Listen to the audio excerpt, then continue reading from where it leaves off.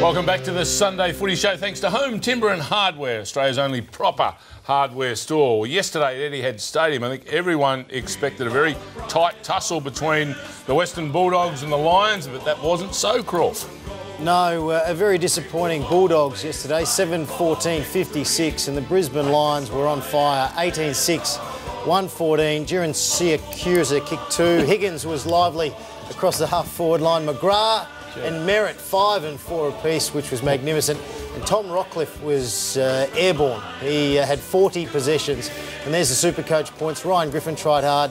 Daniel Cross, and for the Lions, Pearce Hanley, Rockliff, Redden, Zorko, Black.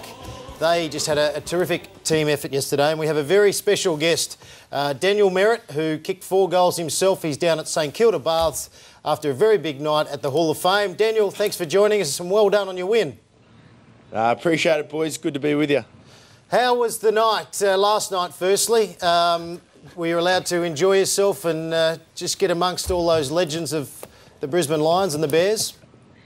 Yeah, exactly. Just uh, it was a great night for the club, and just as a player, just made you so proud to, to put the Lions jumper on. And Fitzroy's just got a great history, and uh, to, to meet all the old boys and um, see, see them get inducted to the Hall of Fame was just a great night for the club and great night for all the players. And uh, what about the match yesterday? Uh, from the very first bounce, you certainly came to play. You're very confident going in, and uh, you played a real unsociable brand of footy. It was great to see. Yeah, the pressure was probably honest just to, to have a good game with uh, with the night that, that was ahead of us. But um, the boys put on that Fitzroy jumper and showed a lot of spirit and and uh, played for all those old Fitzroy players. And uh, it was a great team performance and. Um, yeah, one of our better wins we've had for a few years. Big Sauce, you've been a backman for a long time. This year you've gone forward and you've kicked a couple of bags. You enjoying it? Are you a backman at heart or are you going to be staying in the forward end? Yeah, I'm a, I'm a battler, so I'm a backman at heart, but um, just doing the role at the moment and, and luckily enough uh, getting on the end of a few and uh, enjoying my time up there. I'm, I'm make sure I'm celebrating all my goals because I don't know when my, my, next one will come. Oh, you've kicked 20 for the year, Sauce, and uh, you're showing some great signs there. You started well again yesterday as we roll the tape, but you've still got those backman qualities where you seem to go for a big mark and punch it miles over the boundary line. yeah, I, uh, yeah, I, I, can't change my ways. I think uh, it'll take a few years, but I've been watching Big Johnny Brown walk around, just trying to get uh, his strut a little bit yeah. and the way he uh, conducts himself on the footy field. So I've got uh, I've got a good teacher to follow. So tell us about young Dane Zorko. He's not young, he's a mature age recruit. Watched him last week against the Hawks. He had 29 touches and kicked three. And then again yesterday, he's been outstanding. He looks like a really good, mature player. Yeah, it's great pickup by the club as a mature age recruit. He's actually a Gold Coast boy from my area and um, he's been killing it in the in the local competition here for a, for a good four or five years. So to get his chance, he's taken it, and he's doing a really good role for the club and playing some bloody good footy. Daniel, it was a, really good start. Yourself kicking three goals in the first quarter, the team kicking six, and uh, the Bulldogs looked a bit sluggish, but um, you know you just really got your matchups right with Matty Boyd going against Redden early, uh, Polkinghorn on Robert Murphy, and Ryan Griffin on Raines, who's had a super season um, shutting down some of the better players, but also getting involved in the play himself.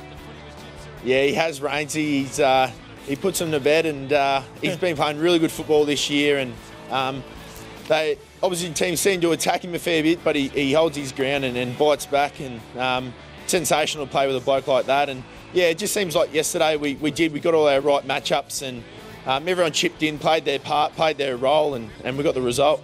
You must have been pleased, uh, Daniel, with the midfield yesterday. Absolutely dominated. Uh, nine stoppage goals to four for, from the Lions, and uh, I suppose Simon Black having him back in the side, uh, Rockliff, uh, and also Daniel Rich all had great games yesterday. Yeah, exactly. Uh, those young guys are building, and have a veteran like Simon Black running around always helps. But um, as a forward, yeah, when the boys are on top in the middle, makes my day very, very easy. And the Irish boys down back, Pearce is going beautifully, and McKeever. Is that it? And his yes. That's it, McKeever, yeah. Yeah, and Pearce Hanley, thanks, Lordo, yes. Uh, hey, they're going well down back. Yeah, it is. Uh, obviously, take a few years to get going, but um, no, they pick up the game really well. They're they're both competitors and, and hard at it, and that's all that's all you want from them. And uh, they're doing their role, and and chipping in and uh, yeah, making it hard for the opposition. And Ash McGrath kicked five goals yesterday and was a, a real focal point. And I love the way the uh, forward line was working. You're really isolating each other, giving each other a lot of space to work into, and he was the one to reap all the rewards. Yeah, Ash back from injury this week and um, usually playing down back, but they gave him a rest up forward, and uh, yeah, he definitely produced yesterday, kicking five goals, and um, I think we'll see him up there for the next few weeks. Uh, Mitch Golby, uh, a great youngster, and also Harwood. Um, I thought that their development has been really, really good over the last few weeks, and yesterday really stood up. Yeah, exactly right. And uh, it, it's, it's great for an older players to see those young young talent coming through, and um, it is exciting for the future. Um, a few hard times at the moment, but we'll, uh, we're building and, and improving, and uh, yeah, the, the, future looks bright. Just on that, Daniel, it was a dominant second half display. You kicked uh, 10 goals to two after half time, absolutely smashed the doggies. You're speaking about building as a side. You're far more competitive this year than you were last year. What do you put that down to? Where do you reckon the improvements come from? Uh, yeah, I think just experience and, and our midfield, just um, winning our matchups, winning one-on-ones, contested footy, and, and just the pressure we put on opposition. It really keeps us in the game. And um, if we put our defence first, our, our attack will follow. And um, if we can keep that competitiveness uh, through the rest of the year, we'll uh, we'll get get a few more wins. Uh, Tom Rockliff is quite an amazing player. He had 40 possessions, but uh, he 40. kicks goals, uh, gets plenty of ball through the middle and uh, he's an unbelievable contested mark up forward as well, a great focal point. Yeah, he is. He's uh, he, he's great to have in your Supercoach team, that's for sure. and uh, yeah, he's pretty amazing uh, when he goes up forward. That's uh, a one-on-one contest. He's he's very hard man to beat. You must have been surprised, uh, Daniel, that uh, if you were told at the start of the game that you'd kick 18 goals and the big skipper Brownie wouldn't kick any. Uh, how was he last night? Uh, oh. Obviously, be happy with the win, but uh, couldn't get on the end of any. nah, nah, he was very, very happy. Uh, he, he did his job, and I think he was getting further up the ground yesterday and helps uh, the likes of Ash McGrath and myself get on the end of it. So when, when Brownie's up and about and he, he's up the field and he's getting his marks, um, geez, it makes, makes my day a lot easier. Yeah, played a very good team role yesterday, Jonathan Brown. Uh, created a lot of space for the other forwards. I thought Liberatore worked hard for the Dogs. Cameron Howard, he was a shining light, but it was a very disappointing day for the Dogs, one that you just want to move on from. The Lions were magnificent, and uh, we're going to have a look at the vote, Simon. That's what we're going to do right now, and here they are. Tom Rockliff, he gets the eight votes. He was super. He had 40 plus possessions, kicked two goals.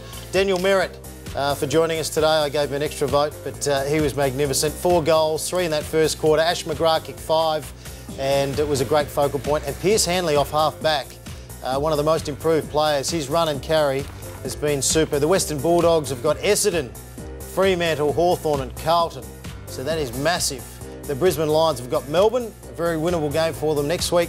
The Swans, St Kilda, and Gold Coast. So a good opportunity to uh, get on a bit of a roll, Simon. Yes, uh, Bill, yep. big night for the uh, the Lions last night. Well, a huge night after you win by uh, 10 goals. And, of course, Daniel, the uh, Fitzroy Brisbane Lions Hall of Fame night, a packed house there at Crown. And here it is here, the Hall of Fame. Some great players there, of course. Alastair Lynch, Leigh Matthews, Paul Roos, Michael Voss, uh, Leper, Justin Leppitsch, uh, Bernie Quinlan, and two legends were inducted into the Hall of Fame, of course, Haydn Bunton and Kevin Murray. Great night. Uh, sensational night and uh, really topped off by Bulldog Murray. He finished the night there and he had a, a great speech and uh, inducted as a legend. And yeah, like I was saying before, it's just it makes you so proud to wear the jumper to see the greats our, our club has had and, and to celebrate that. It's a great initiative from the club and um, yeah, it was. It was one of the one of the great nights. Daniel, just before Billy tells you about the uh, prizes you're going to get for being with us this morning, would you rather do your um, uh, your after match uh, at the Gold Coast or at St Kilda Beach? Because it looks very, very pleasant down there this morning. nah. I'm glad we won't be doing this again. Uh, definitely prefer Queensland during winter time. Good on you, Billy. Now, what prizes we got for oh, Daniel joining us this morning? Well, we have them every week, Simon, so okay, you won't be surprised good. with these. But yeah. the Aquila shoes, nice Aquila shoes for you. We'll find a nice little red pair for you, uh, Source. St. Goliath clothing pack, $250 gift voucher there. Man, what a fuss. $100 voucher there for a facial. King, Kincrome Tools, a tool kit there, 55 piecer. the whey protein powder for recovery and development. Ready to golf, $130 voucher there from Drummond Golf Stores. Aussie. Extreme cooling towels, they stay cool for six hours. Zeppelin Rose, magnificent uh, clothing label, $100 voucher there. Hotel Brighton, $100 voucher there for some frothies and drinks and food. And the Home Timber and Hardware, $150 gift card thanks to uh, Home Timber and Hardware, Australia's only proper hardware store. Who was best on ground last night and your highlight of last night, please, uh, Source? Uh, definitely got to give it to uh, Tommy Rock, but um, I think uh, probably Last- think Ash McGrath. No, last night at the function.